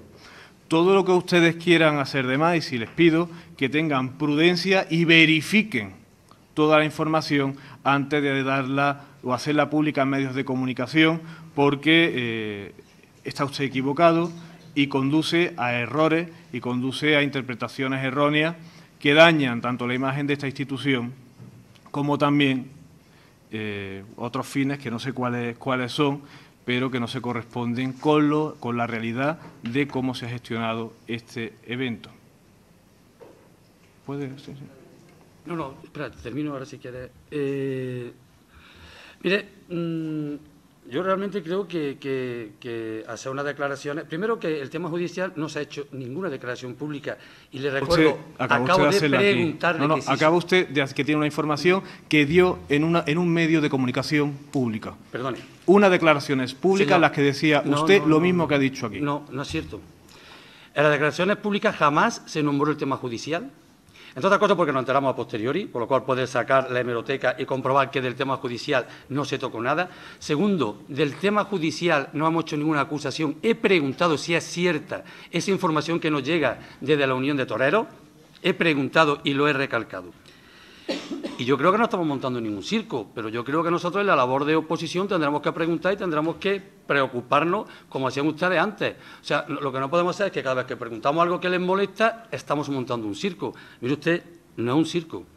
Pero además le voy a explicar porque eh, eh, me parece muy bien y lo que sí me gustaría es que me dijera esas gestiones con la Dirección General. Usted sabe perfectamente que para que se autorice ese, para que se autorice ese espectáculo tienen que depositar un aval de 25.000 euros en la Junta de Andalucía entre las cuales eh, principalmente, y, lo que marca el reglamento, es para devolver esas entradas en caso de una suspensión de espectáculo. Entonces, yo quisiera saber qué acciones están tomando, qué acciones con respecto al aval, si lo han solicitado, poder tramitarlo directamente del ayuntamiento, porque claro, si, lo solicita la empresa, difícil tenemos que vuelva a redundar en, las personas. Además, la secretaria de este ayuntamiento ha preparado el oficio que ha salido a la Dirección General. El ayuntamiento ha tramitado, además, se hizo un modelo para que, en el que costaba pues, todos los datos personales, el número de entrada, absolutamente todo, para reclamar a, consumo y posteriormente se ha tramitado todo, y decir, están las doscientas y pico que se han tramitado aquí, se han pasado con esa petición de que se ejecute el aval que estatutariamente tenía que haber eh, depositado esa empresa y entiendo, y si no la secretaria que me corrija, que particularmente a cada interesado pues le, contestarán en, este, en este sentido. pues si quiere dar la información jurídica. Eh, lo que hemos hecho ha sido remitir copia del expediente con la totalidad de las reclamaciones pidiendo que se constituyan como parte interesada, que se le haga, que se entienda como interesado y se ejecute el seguro. No creo que no viene, no, no es claro que sea un aval, pero vamos, sí un seguro de responsabilidad. Y hasta, hasta el momento no hay más información que la que esta. Bien, ya para terminar con este tema, y yo creo que iba a intervenir mi compañero, si yo le quería preguntar, porque al final eh, eh, en el espectáculo esto el presidente es el que tiene toda la, toda la responsabilidad. Entonces, mi pregunta es eh, al presidente del festejo si él en este pleno puede asegurar que, los certificados médicos que presentaron los toreros, con lo cual usted decidió la, la decidió la suspensión de la corrida, eran perfectamente legales y correctos de hacer esta, esta respuesta, no es que, volvemos, vuelvo a insistir, es un asunto que eh, parece ser está judicializado. Así que tengan, tengan, no, porque estamos hablando que una investigación abierta y el tema de las preguntas y las respuestas de más información que la que requiera en, el juzgado para poder hacerla, hacerla pública.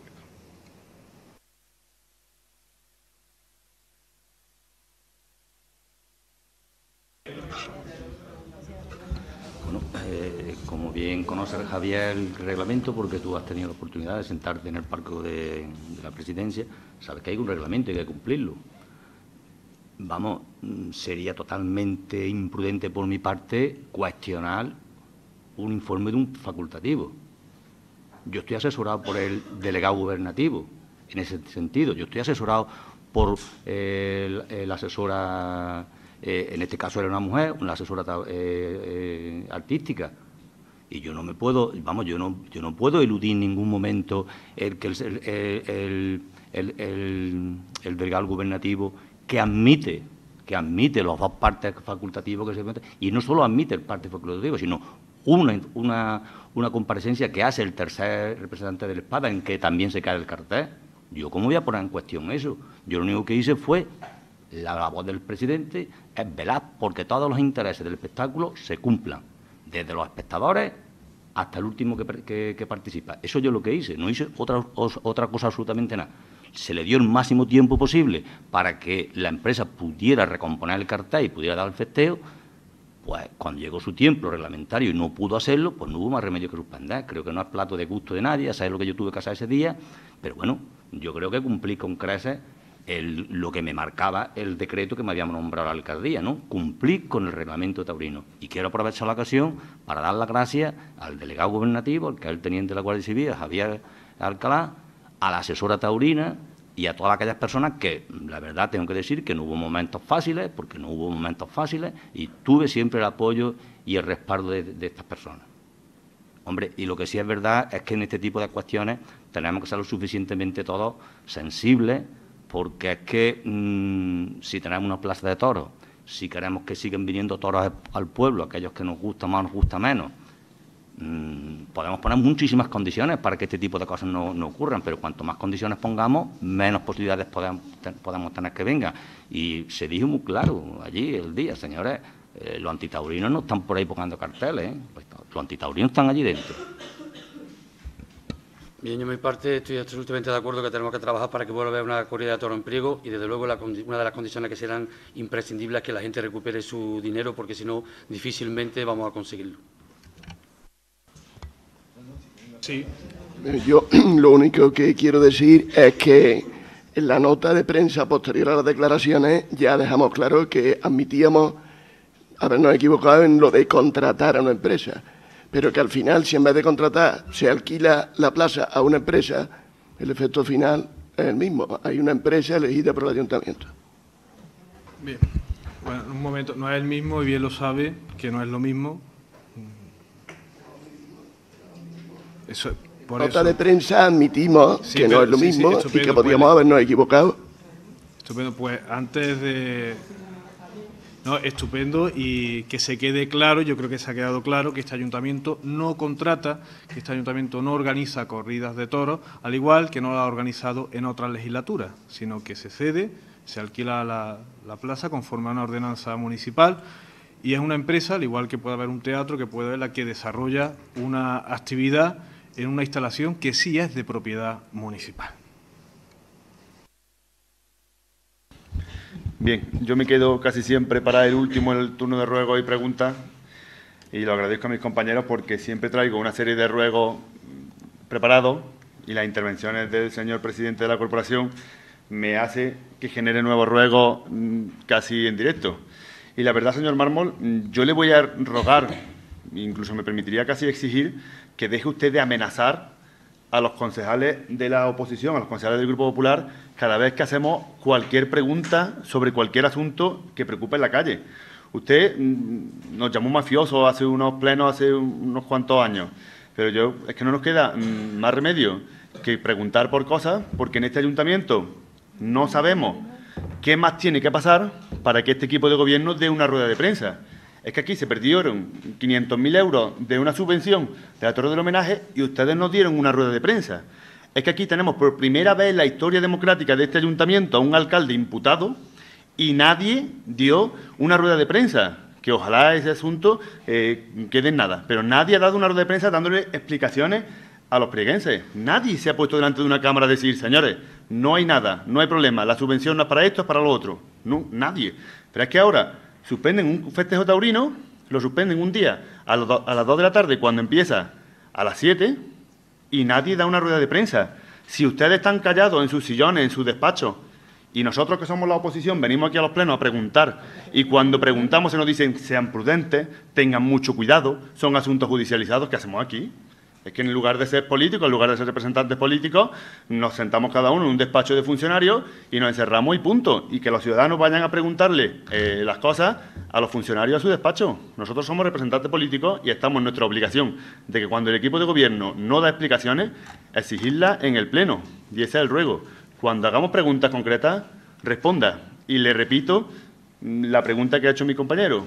¿Van a recibir el dinero, los 600 plieguenses que va desde, 30 hasta 80 euros, van a recibir su dinero, sí o no. Y ahora le ruego que responda sí o no y que no, se dedique a amenazar a este grupo, que es el único que creo que se está creyendo de verdad su papel de representante público. Bueno, ha llegado usted tarde al pleno, pero ha llegado no para montar eh, el show. Eh, sí, no, y vamos a dejar, yo creo que, es necesario, es necesario dejar las cosas muy claras. El que viene a, mentir al pleno es, usted. Ha sacado de nuevo, y me, extrañaba, no sé cómo una persona había preguntado por el tema de los bomberos, cuando usted en este pleno dijo que no tenía ningún tipo de información y estaba usted personado como acusación particular.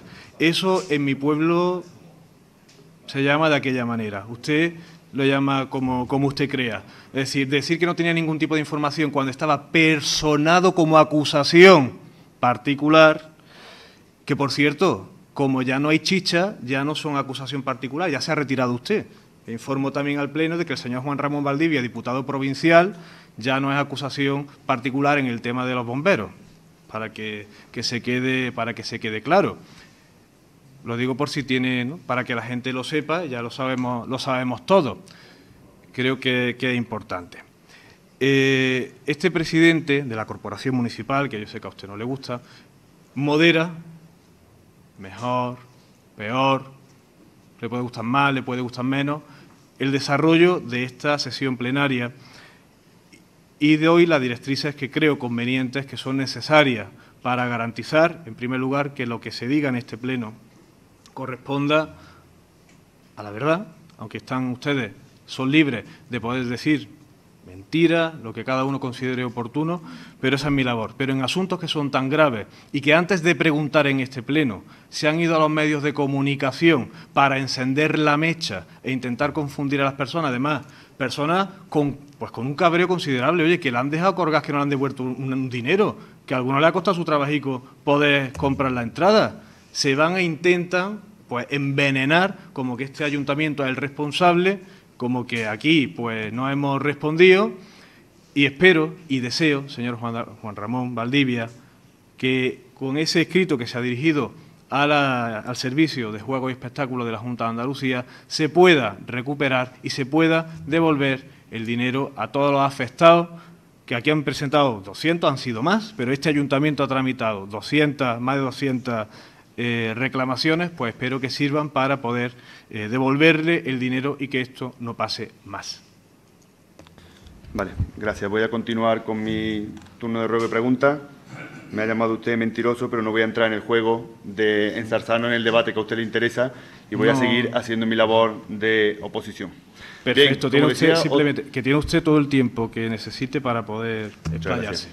Eh, como decía, otro ruego eh, que ha surgido en este debate, en el turno de ruego y pregunta, eh, ha sido el de que ya hay dos políticos del Partido Socialista, que yo creo que todos más o menos nos hemos dado cuenta ya de que el Partido Socialista está en campaña o en pre-campaña, uno ha sido la presidenta de la Junta Andalucía, de Andalucía y otro eh, un senador por Córdoba, los que han hecho la promesa de la carretera de la Angostura, que además se lo hemos repetido, se lo hemos preguntado en dos ocasiones para que usted claramente diga que lo que se refería era a la nueva carretera, tal y como estaba el proyecto desde hace tantos años. Hay que decir primero que yo creo que las promesas se hacen a principio de legislatura y no al final, aunque queden cinco meses o dos meses, pero bueno. Y yo, como usted bien decía, esa broma, y a mí me gusta que me, que me siga usted en redes sociales, eh, yo tengo amigos del Partido Socialista que estuvieron también en ese acto de Susana Díaz y me dijeron, ahí tenéis los del PP la carretera que tanto, eh, tanto habéis buscado. Vamos a decir que entre bromas dijimos otro término. Y yo le dije que no me creía nada, que si eso pasaba finalmente, que le pagaba un café. Había otro socialista, también amigo mío al lado, y me dice, yo me sumo también a esa apuesta. Y me lo aposté y lo puse en redes sociales eh, de broma. Yo si eso pasa, finalmente lo, lo pagaré ese café, no tengo ningún problema pero todavía estoy deseando de que usted le pague ese café, que imagino que le deberá a alguien, porque también supongo que tendrá amigos del PP, eh, cuando dijo que el cuartel de la Guardia Civil era humo, que la primera piedra que iba a colocar María Luisa era mentira, que nada más que hacíamos mentirle a la ciudadanía y dentro de probablemente pocas semanas usted inaugurará, con toda su aura de alcalde de Priego, inaugurará el cuartel de la Guardia Civil que tanto nos costó eh, trabajar y que tanto nos costó y que como usted dice ahora, mentimos y mentimos, en aquel momento usted cogió la radio municipal para decir que estábamos engañando a la ciudadanía y que, eh, y que lo que estábamos haciendo es totalmente eh, un fraude y ya dentro de unos meses tendrá usted esa inauguración. Bueno, otro, en otro orden de cosas, eh, los que llevamos algún tiempo en política, llevamos eh, oyendo siempre el eslogan ese del Partido Socialista, de lo importante que es para Priego. Eh, siempre dicen el Partido Socialista es el único partido que defiende a la aldea, ¿verdad? Siempre hablan de Priego y su aldea y demás. la verdad es que nosotros durante este año y medio largo, muy largo, que llevan ustedes gobernando el ayuntamiento, hemos visto algunos asuntos con respecto a la aldea que nos han preocupado bastante pero yo creo que ya hemos llegado a un punto en el que el Grupo Popular tenía la obligación de hacer este ruego hoy aquí en este Pleno. Mire, ya nos pareció bastante grave que estuvieran más de ocho meses para presentarse, para mantener una reunión con los alcaldes pedáneos y citarlos, que los citaron prácticamente ocho meses o seis meses después de que ustedes llegaran a la alcaldía. Creo que la reunión fue en noviembre y ustedes entraron el 8 de mayo. Es grave también que ustedes quitaran el programa de verano en la aldea, un programa que venía funcionando desde hace un par de años y que lo quitaron directamente porque era un proyecto del PP. Todavía era grave cuando eh, hacen un plan municipal de vivienda y suelo tan importante como ese plan y se le olvida contemplar la aldea. Entonces hemos tenido que modificarlo y ahora eh, estamos en fase de aprobar y de modificar ese plan para incluir a la aldea, que fíjate, con todo lo que nos gusta poner priego y aldea se nos había olvidado. Eh, pero además nos dicen los alcaldes pedáneos que llevan, que hay material deportivo en su aldea, como por ejemplo la aldea de las Lagunillas, eh, unas canastas de baloncesto que llevan allí dos meses al sol porque no han sido capaces todavía nadie del ayuntamiento de colgarlas. Hay que decir, señor López, que, anteriormente ese tipo de material deportivo siempre lo instalaba el personal de deporte. Bueno, pues como digo, hemos ido soportando este tipo de cosas, mientras que ustedes siempre que hablaban Priego y su aldea y las aldeas tan importantes para el Partido Socialista, que me disculpe el PA y, participa Priego porque estoy hablando del equipo de gobierno del Partido Socialista. Eh, siempre hablan de la aldea y sin embargo se le olvida. Pero creo que el tope ha llegado cuando en ese grupo de WhatsApp oficioso que tenemos, que tiene el concejal de obras con todos los alcaldes pedáneos, el concejal de obras se ha visto en la autoridad y en la capacidad de expulsar a un alcalde pedáneo de ese grupo de WhatsApp. Ese agravio nos ha llegado a nosotros con la indignación de ese alcalde que voy a reservar de dónde es alcalde. Nos venía también otro alcalde que durante las fiestas de su aldea tuvo una discusión con el señor Mármol porque él es el alcalde pedáneo de esa aldea y le preguntó cómo era posible que, tenía, que, viniera a su aldea y no lo llamara, y le decía que no tenía nada que preguntarle a él ni nada que hacer con él. Me parece que era un agravio muy grave. Y yo creo que lo que el otro día a mí personalmente me dolió muchísimo fue el otro día la visita de la presidenta de Susana Díaz a la empresa de Almendras Morales en Zamorano. Mire, yo entiendo que usted me tenga un desprecio hacia mí y hacia mi cargo. Yo soy el diputado provincial de la comarca y a mucho orgullo. Venía una presidenta de la Diputación, eh, perdón, una presidenta de la Junta de Andalucía a una comarca en la que el diputado provincial estaba allí. Yo entiendo que se le pasara a usted el invitarme a la fotografía y que fuera la deferencia de una política con bastante más espaldas que usted, que fue la que finalmente se acercó ella a saludarme. Pero lo que no le puedo consentir de ninguna manera, no le puedo consentir de ninguna manera, es que al alcalde, legítimo y votado por todos los vecinos de Zamorano, fuera excluido no solamente del saludo oficial de la presidenta, sino después en el asiento de autoridades para el discurso que dio Susana. Es verdad que su compañero eh, Tony eh, se preocupó un poco de nosotros, de los que estábamos por allí cercanos, y la verdad es que el alcalde pedano se sintió muy agraviado. Entonces, yo lo que le ruego es que al margen de todos los eslogans que el Partido Socialista siempre hace con las aldeas, que se tomen un poquito más en serio a los alcaldes pedáneos porque son tan autoridad pública como somos nosotros. Es más, están legitimados por los votos de todos los vecinos de su aldea, cosa que en algunos otros casos no pasa. Entonces, lo que les rogaría es que se tomen la aldea de verdad en serio y que a estos alcaldes que han sido agraviados, que seguramente ustedes saben quiénes son, que le pidan disculpas y que vuelvan al estado en el que estaban y que se les pida disculpas personalmente por lo que pasó el día de la presidenta de la Junta de Andalucía voy a responderle antes de que, antes de que siga. Bueno,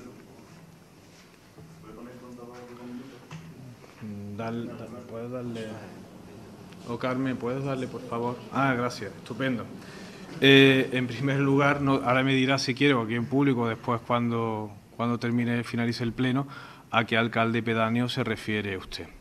Me lo dice para que lo, para que lo sepa. Eso demuestra pues que, que, estoy, que estoy en las aldeas, que estoy en los sitios, que dicen ustedes que no vamos a los sitios, pues mire, es que se, se desdicen ustedes hasta en sus propias, sus propias mentiras. Estamos presentes. Y después creo que es necesario, eh, se ve que la, visita de la presidenta de la Junta de Andalucía le ha picado, le ha picado pero bien. Eh, no sé, porque no merece la pena entrar con usted en este tipo de, de debate ya no dialéctico, porque esto no tiene ningún tipo de sentido y no aporta ningún tipo de mejora a la, a la calidad de vida de las personas que viven en Priego, pero lo que no puedo tolerar es que usted engañe de esa manera, que mienta en este pleno y menos poniéndome a mí como, como centro. Sí, sí, sí, sí, es que usted, usted no fue. Al señor diputado provincial y a su acompañante, al señor concejal Miguel Forcada, el Servicio de Protocolo de la Junta de Andalucía llamó a la Corporación Municipal en varias ocasiones y ustedes y ustedes no quisieron ponerse en la foto para hacerse notar. Y posteriormente, junto con la presidenta de la Junta de Andalucía, fuimos a saludarles personalmente para que no tuviesen ustedes ese sentimiento de agravio, de desprecio que intentan vender a la ciudadanía ya se ve el plumero, ya está bien. Así que cuando usted hable, pues hay mucha gente que está pendiente. Le recuerdo además, porque no me ha hecho el feo a mí, se lo ha hecho a una empresa que es la que organizaba un acto. Nosotros íbamos de invitados a ese acto a Almendras Morales y ese feo que me ha querido achacar a mí se lo está achacando a una empresa que con toda la ilusión del mundo organizó ese acto y nos invitó y en, el acto institucional era un saludo a la presidenta de la Junta de Andalucía, al que usted no se quiso poner, pero como bien dice, la presidenta tiene muchísimas más espaldas y tiene muchísima pues más, más solvencia, fue a saludarle personalmente como diputado provincial que él y como concejal del Ayuntamiento de Priego para que no se sintiese usted desagraviado. Perdón, agraviado. Bien, ahora sí voy a picar un poquillo su anzuelo. Tres personas pueden evidenciar, o tres hechos pueden evidenciar que eso que usted dice es mentira.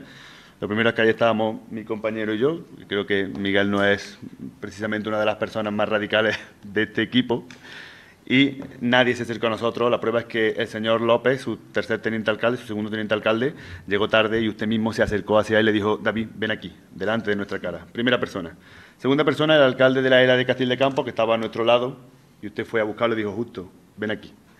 Y la tercera persona a la que he citado, el propio agraviado, que a mí me da igual que usted desprecie mi cargo político. Yo no lo desprecio. Pero a mí me da exactamente igual el alcalde pedáneo de Zamorano que le pueden preguntar si alguien de la, de la de la corporación, que también estaban ustedes allí, de la alcaldía o del protocolo de la Junta de Andalucía, se llegó a, traer a esa persona porque era la máxima autoridad que estaba allí. Nos lo creamos o no, más que la presidenta de la Junta de Andalucía, la máxima autoridad era el alcalde pedáneo de, la aldea de, Zamorano. Pero como no nos acabamos de creer esto de los alcaldes pedáneos, pues bueno, así no va. Bueno, eh, continúo con una pregunta muy sencilla, señor Mármol. ¿Quién es el gabinete de prensa del equipo de gobierno o de alcaldía? porque las notas las firma Gabinete de Prensa. Bien saben ustedes que este ayuntamiento ahora mismo no tiene a nadie contratado. En el anterior pleno era que teníamos a una persona que nos, hacía las notas de prensa. Pues las notas de prensa las hacen trabajadores de este ayuntamiento, se hacen desde las distintas áreas municipales para poder salir a través de ese correo corporativo, que por lo menos haya pues mm, una imagen institucional, un vehículo, una forma de comunicación para poder emitir los comunicados y las notas de prensa de este ayuntamiento. O sea, que simplemente es una firma, ¿no? Pero que no hay un gabinete que trabaje con una alcaldía, ¿no? Es una firma... Ustedes ya lo habrían denunciado entonces, ¿sabe que no? Bien, y la última, eh, en el mes de enero, yo la verdad es que me sorprendo como nadie del, pacto de gobierno salta con este tipo de cosas y solamente parece que tenemos eh, la capacidad o, el sonrojo para hacerlo los del Grupo Popular. Eh, en el especial de Fitur del Córdoba, lo traje a este pleno, no sé si lo recordarán, un especial que suele haber, yo recuerdo un año que estuvimos promocionando el Recreo de Castilla, el siguiente año hablamos del barroco de la iglesia, otro año pusimos la Fuente del Rey. Este año, en el especial de Fitur, había una entrevista con el nuevo alcalde de Priego, con el señor Mármol. Le dije que ese eh, anuncio había que pagarlo, igual que se pagaba el anuncio en Fitur. Es un anuncio que realmente es muy provechoso porque eh, los ejemplares del Córdoba se reparten en el stand de Córdoba de Fitur, se reparten como churros. Y es verdad que cuando ve la página Priego de Córdoba siente bastante orgullo. Imagino que usted utilizó esa oportunidad para eh, promocionarse personalmente, ¿no? Como digo, con el dinero de todos los preguenses. Si no ha cambiado el precio, porque no sé si el Córdoba le hace a ustedes el mismo precio que a nosotros, ese anuncio cuesta 1.200 euros más IVA, que como digo, es muy rentable cuando es la publicidad de Priego en Fitur, eh, pero si es la entrevista de un señor primer edil de un ayuntamiento, para promocionarse a sí mismo, creo que debería pagarlo o su partido o su bolsillo. Bien, cuando termine este presupuesto, el año que viene veremos quién pagó ese dinero. Pero es que no solamente se lo dije y a usted le dio exactamente igual y me atacó como probablemente me atacará ahora, y me hablará de turismo, de todo lo que usted quiera decirme, sino que ha llegado el especial de feria, el especial de Feria Real, y adivinan todos los preguenses que nos están viendo quién aparecía en la portada, en la fotografía dedicada a la feria de Priego, 1.200 euros más IVA, cuando siempre estaban las programaciones, el cartel de toro, el cartel de la feria. Adivinan ustedes quién estaba otra vez, ¿no? Una entrevista con el señor Mármol alcalde de Priego, y todos sus proyectos. No salgo la fotografía porque la verdad es que llega un momento en el que ya ponerse aquí con la pantallita, con la hemeroteca, parece uno mm, aburrido y cansino, pero es que es sonrojante que este ayuntamiento haya pagado 2.400 euros más IVA de entrevistas personales para la promoción y la pompa del señor Mármol. ¿A usted eso, como me dice usted a mí algunas veces, no le da un poco de sonrojo? ¿No le da un poco de sonrojo? Yo le ruego que en el próximo especial de Fitur, que es dentro de tres meses y medio, que aparezca una fotografía de nuestro pueblo promocionando nuestro pueblo y que sea la última vez que usted, en los diarios digitales, en La Voz de la Subbética, donde quiera, haga, haga publicidad de su persona. Pero cuando tengamos que pagarlo los preguenses, haga promoción de turismo y no de quien ocupa el sillón de alcaldía. Y a un ruego. Muchas gracias. Eh, muchísimas gracias. No merece la pena entrarle en el juego, bien lo sabe usted. Porque, bueno, podríamos decir, muchas cosas, pero no merece la, pena. Y no es que hayamos salido, como bien ha dicho usted, primer edil, alcalde, que a usted no le gusta nada, pero soy alcalde de Priego con el voto de la mayoría de los concejales, que son quienes eligen al alcalde. Y como representante de esta institución, de este ayuntamiento, y además como concejal delegado de turismo, saldré todas las veces que sean necesarias para hablar de todo lo que se está trabajando positivamente y entiendo que pueda usted tener cierto pique, ya que fue delegado de turismo, que se estén consiguiendo cosas y que se esté hablando de Priego, del turismo de Priego, pues en lugares en los que usted ni se imaginaba que se podía hablar de turismo de Priego. Como ejemplo, simplemente, y creo que ayer fue bastante, y quiero dar las gracias, aprovechar este momento también para dar las gracias a la Diputación Provincial de Córdoba, un momento magnífico para promocionar a nuestra localidad con esa gala del turismo que la Diputación de Córdoba realizó eh, en Priego. Hemos tenido que esperar mucho tiempo para que esa gala venga a nuestro pueblo y ha tenido que ser con un presidente de la Diputación socialista cuando esa gala se traslade hasta nuestra localidad. Seguiremos haciendo cosas muy interesantes y como dice que en la agenda, pues ya le recuerdo a usted. Mire, este fin de semana tenemos la quedada, la tercera quedada de fotógrafos andaluces.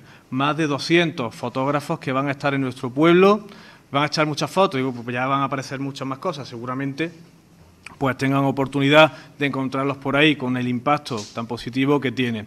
El mismo sábado recibimos también a cerca de 100 turoperadores alemanes que vienen a conocer nuestro pueblo y a conocer todas las excelencias que, tenemos como destino turístico. Así que ese es el camino, esos son los, resultados que se obtienen. Y quiero aprovechar esta oportunidad también para dar las gracias al personal técnico de la, de la delegación que están trabajando pues muchísimo y están sacando pues muchísimos proyectos adelante que benefician y sitúan a Priego pues, en todos los lugares. Yo creo que tendríamos que estar todos contentos y en este caso, pues como representante municipal que soy, el alcalde de la localidad, pues la figura a, quienes a quien le preguntan. Si fuera una entrevista a la oposición municipal, pues no sé si le preguntarían a usted, a su compañera o a quién le preguntarían, pero en este caso le preguntan al alcalde de la localidad. Y si y si ha visto usted, además, en esa publicidad, que ha salido hoy en el especial de Diario Córdoba con motivo del Día Internacional del Turismo, por si no la ha visto, se lo digo. Ah, pues la tenía que haber leído, que es algo también. Sí, hombre, qué interesante.